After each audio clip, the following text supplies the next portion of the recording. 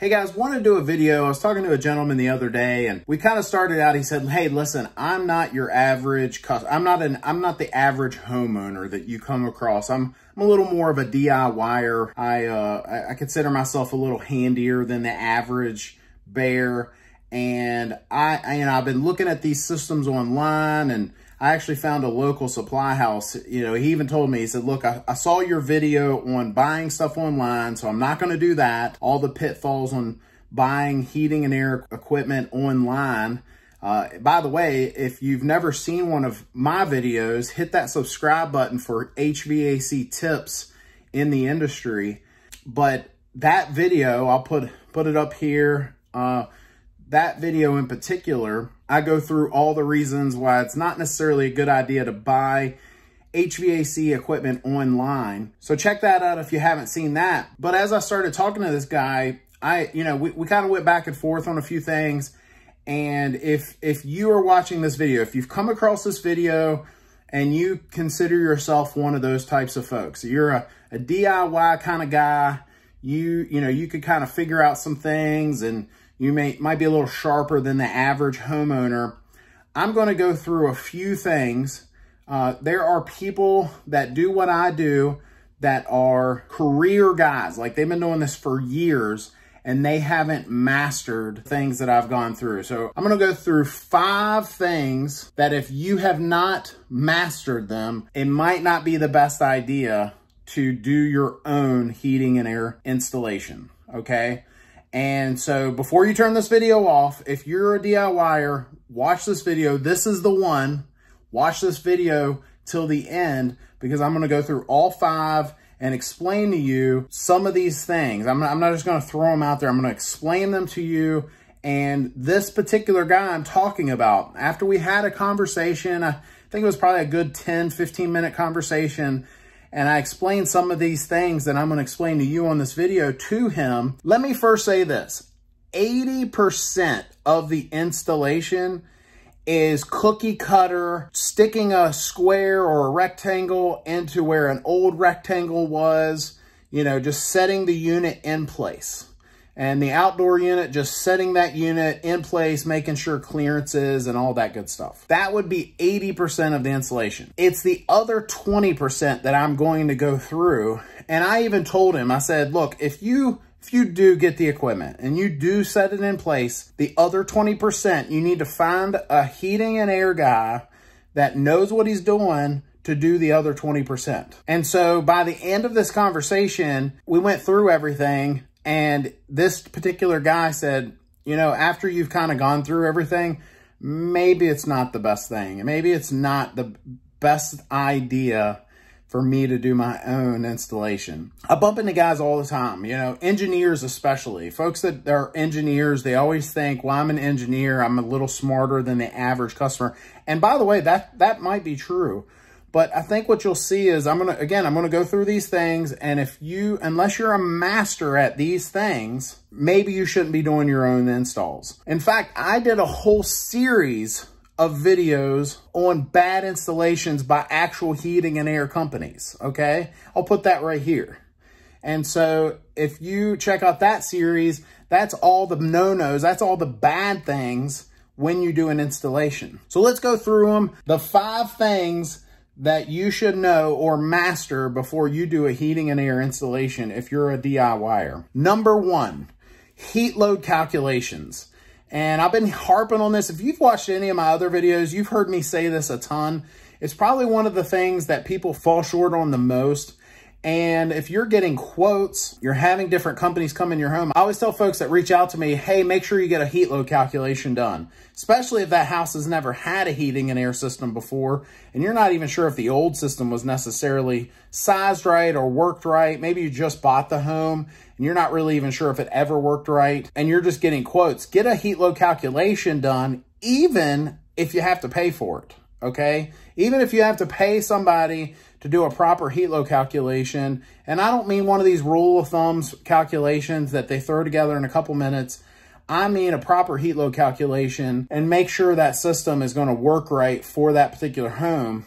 there are parts of the country where this is a gigantic deal. There's really, it's, it's a big deal everywhere, but there's parts of the country that if you don't do a proper heat load calculation, you could have huge, huge issues. You could have mold, mildew, all kinds of things that happen in your house. So heat load calculation. The second thing I would say that you should master before you do your own heating and air installation, and that is brazing techniques.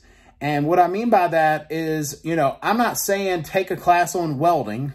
I'm talking about guys that do, that are good at brazing. I don't even think I'm as good at brazing as some of my employees. I've got guys that I'm blessed to even employ them and they're really good. It's an art, right? And the other thing we see is improper brazing techniques in our industry. We'll see folks do brazing and they won't even flow an inert gas.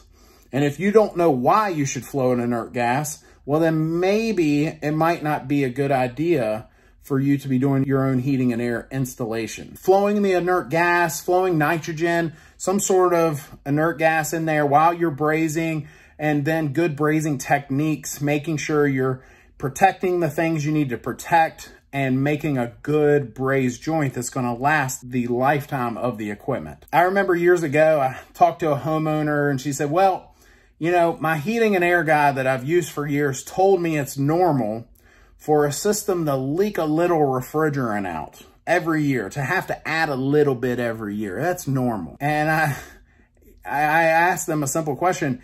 If that's normal, then wouldn't you think there's a leak? Where's that refrigerant going? Right? So in case you've ever been told that, that is not normal you should not have to add refrigerant every year unless there's an issue. Now, as years go by, and if you have somebody that's constantly connecting gauges and disconnecting gauges, there is a chance that after a while, after a couple years, you might need to add a little, just a little bit of refrigerant to get it back up and get a perfect subcool measurement. But I would say that someone telling you every season, especially if every spring and every fall you're having to add a lit, you know, add two, three pounds of refrigerant, that's not normal, okay? That's something you need to get repaired, especially with refrigerant pricing these days. It's getting higher and higher. The third thing I think that you should master before you do a heating and air installation, and that is airflow. And what I mean by that is Yes, you can pull an old system out of a hole and set the new one in the hole, but there are certain things that you should do that help airflow or at least stop inhibiting it. And also there's a such thing as setting the airflow properly when you install it. So a lot of systems, especially today, there are a lot of systems that you have to tell the system what you want the airflow to be. Now, as time goes on, we're seeing higher end systems that in the future become the norm or even the lower end system. And as that time goes on, those systems can actually read your own home and they're communicating technology and things like that, setting the airflow is not as big of a deal. But if you're only doing a 14, 15, 16 SEER, even 17 SEER system, ECM motor, some sort of something where you have to set the airflow, whether you're moving the dip switches on the board or you might be just simply moving the wires on the motor, something you're going to have to do to set the airflow. And if you don't know how to do that, you might not want to be doing DIY on this. And I'll say this too, while we're on airflow, static pressures, if you don't understand anything about static pressure, so if you're stick your probes in there, check your static, check, make sure the airflow is correct, making sure there's nothing wrong there. And also, if you don't know how to properly size ductwork, right? Because just because you pulled an old system out and put one right back in place, newer systems, especially with 410A versus R22, uh, it used to be back in the R22 days. Uh, a lot of guys will tell you R22 uh, was very forgiving. I mean, by gosh, you could just slap just about anything in and you dial in the refrigerant. You, old timers used to call it beer can cold, right? You grab that bigger line and it's cold to the touch like a can of beer. And if you got that going, it's going to cool the home, right? Those days are over. Uh, airflow is a big deal. Static pressures and the size of the ductwork mean way more now than they did back then, okay? If that ductwork is too small, if the returns are too small, or even the supply is too small, imagine if you had to go the rest of your life with half of your mouth covered and you have to breathe the rest of your life that way, that's what you're doing to that heating and air system if you don't know how to properly size ductwork. The fourth thing I think you should master before you do any sort of heating and air install and that is gas pressures. And this goes for heating and air guys too. You wouldn't believe how many heating and air guys I, have met that don't even own a manometer or even know what it is, which is crazy to me. That tells me that if they are installing furnaces, they're not installing them properly. And if you're a DIY homeowner and you don't have a manometer and you don't know how to set things properly, you can have the gas pressures too low and have a sooting problem, have issues with performance, or if they're too high, I have literally seen burners blow holes through heat exchangers. And I don't mean like blow through it like a gun, but if it's too high and there that flame's going up in that heat exchanger further than it's designed to do, it's going to cause problems. And I've seen them blow holes or melt holes through that first bend in the heat exchanger. And I've seen that more than once. And I know I'm going to get a comment if I if there's a heating and air guy that sees this and he's like, I've never seen that. Well, maybe you haven't been doing it long enough. Uh, I get comments all the time on some of my videos. Guys will be like, well, I've never seen that. Well, maybe you need to do this a little longer and you will see it. I did a, I did a video a while back on batteries and thermostats and I described some of the problems that folks can have if those batteries start to get low. And I literally had a guy say, I've been doing this for so many years and I've never had that happen.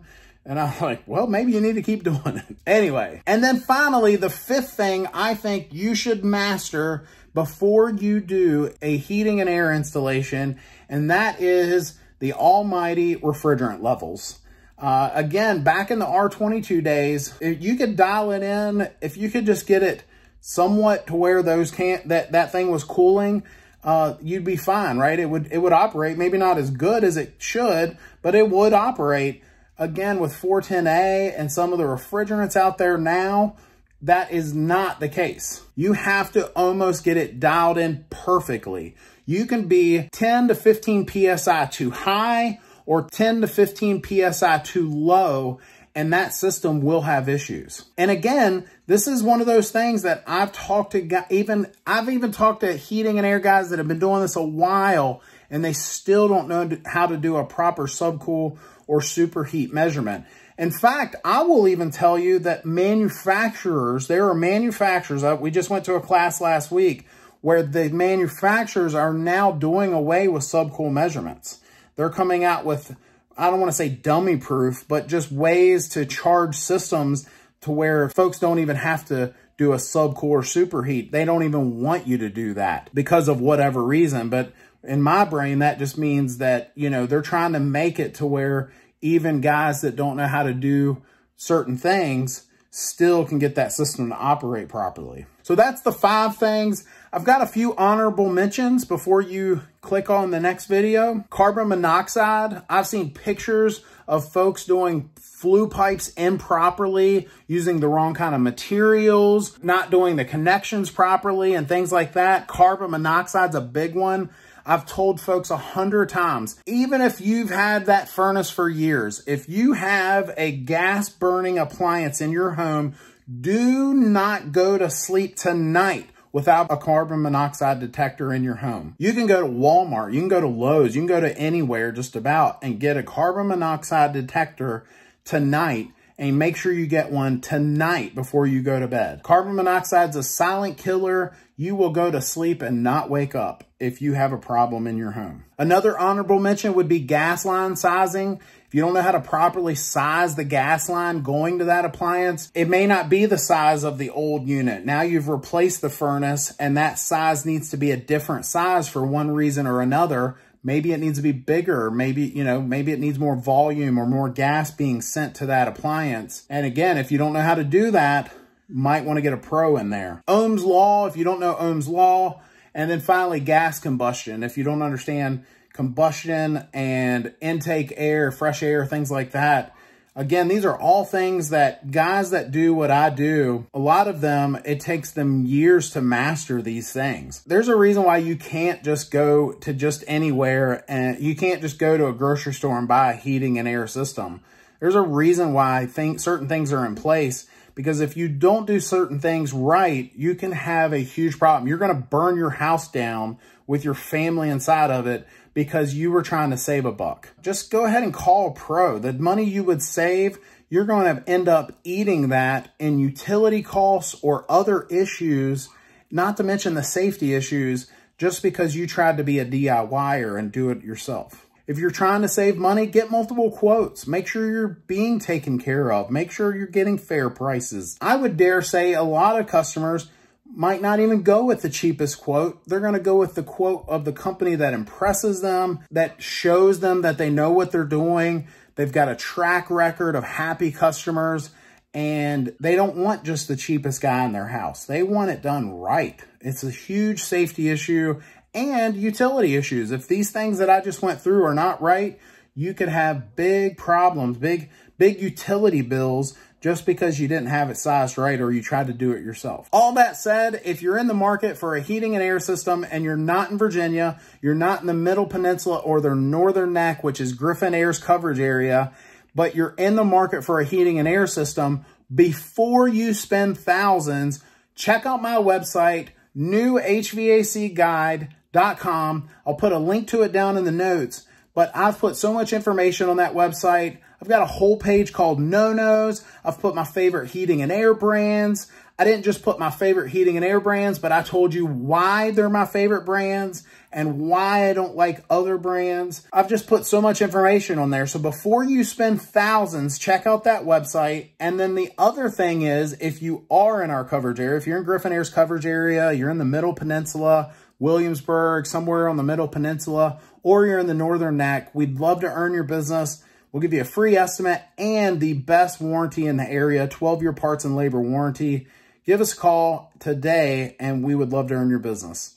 All that said, thanks for watching. Hit that subscribe button. We'll see you next time.